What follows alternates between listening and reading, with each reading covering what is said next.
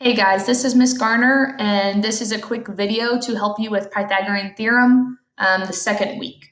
So first, a quick review from last time. Um, what is a right triangle? So remember, Pythagorean theorem only works with right triangles, and a right triangle has a right angle, which remember is 90 degrees. So one of your angles in your triangle will be 90 degrees. Um, this is shown with a box in the corner. So if you see a triangle and it has a box in the corner, that means it's 90 degrees. It is a right triangle. The second one, how can you tell which side of the triangle is the hypotenuse? Um, the hypotenuse is the side that is opposite the right angle.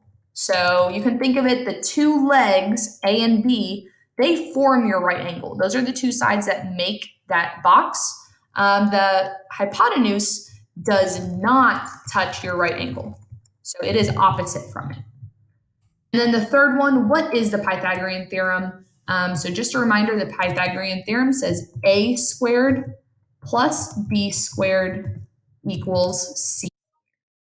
So your leg squared plus your other leg squared equals your hypotenuse squared.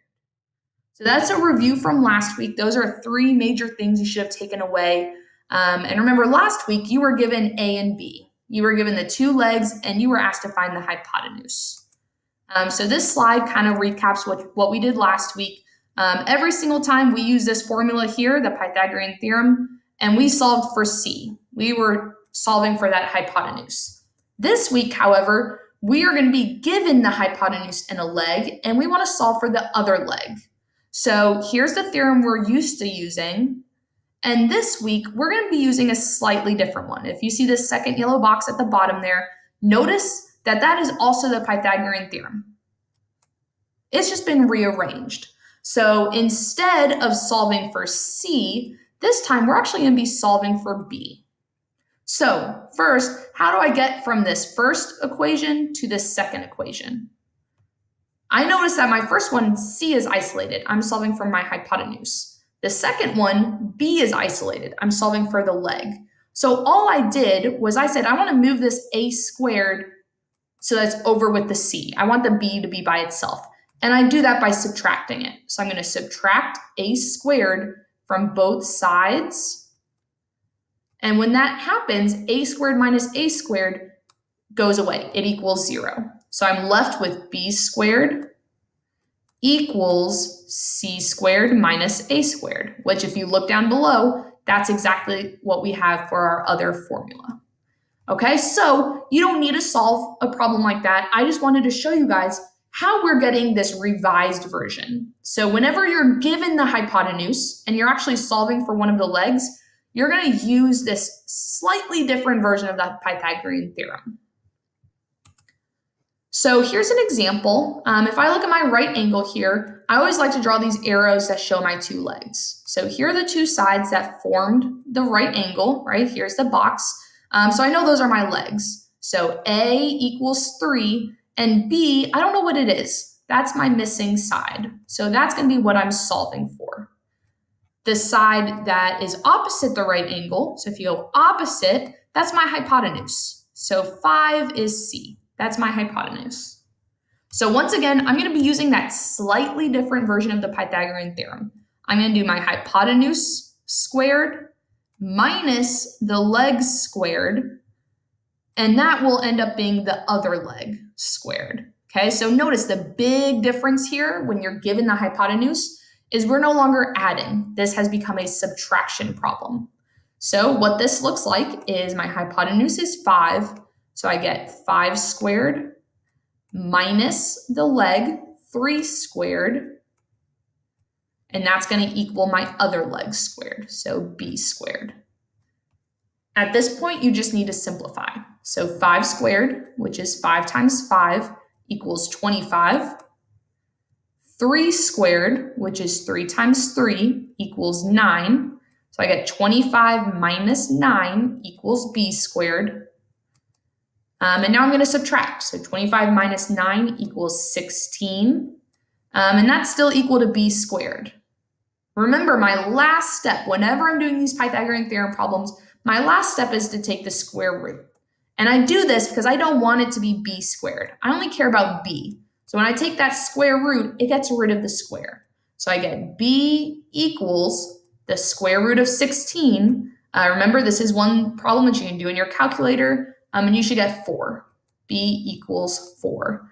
Um, so this is what our missing side is. b is equal to 4. And I can double check, right? This side should be less than your hypotenuse. Hypotenuse is always the longest, which it is. All right, so the big difference, guys, last week when we were given the two legs, we took their squares and then added them together before taking the square root. This week, since we're given the hypotenuse, we're going to do the hypotenuse squared minus the leg squared. And then same as last week, take that square root. All right, so here's one more example. Here's slide six. Um, once again, if you look at our picture here, you see that our two legs, one of them is missing, right? A can equal six, but that other leg is missing. So B is to be what we're solving for. Um, and we're given the hypotenuse. So the hypotenuse in this case, it's opposite the right angle, is 15. That's going to equal C. I'm going to do this problem with a slightly less steps um, just to kind of show you the nuts and bolts. So you're always going to take your hypotenuse squared, so 15 squared, and you're going to subtract your leg squared, so 6 squared. Um, a little hint here, guys, it's always going to be the bigger number minus the smaller number. So 15 squared gives you 225. So that's just doing 15 times 15 minus 6 squared, which is 6 times 6, equals 36. Um, at this point, I just need to subtract. So I'll do 225 minus 36 that gives me 189. And then remember, my last step is I'm going to take the square root. So when I do the square root of 189, I'm going to do this on my calculator. So Web 2.0 calculator, this is a good one to use if you don't like using your cell phone. Square root 189 we see it's this big long decimal. Um, so whenever it's a decimal that never ends, you're going to stop after the thousand spot. So after three numbers after the decimal. So 13.747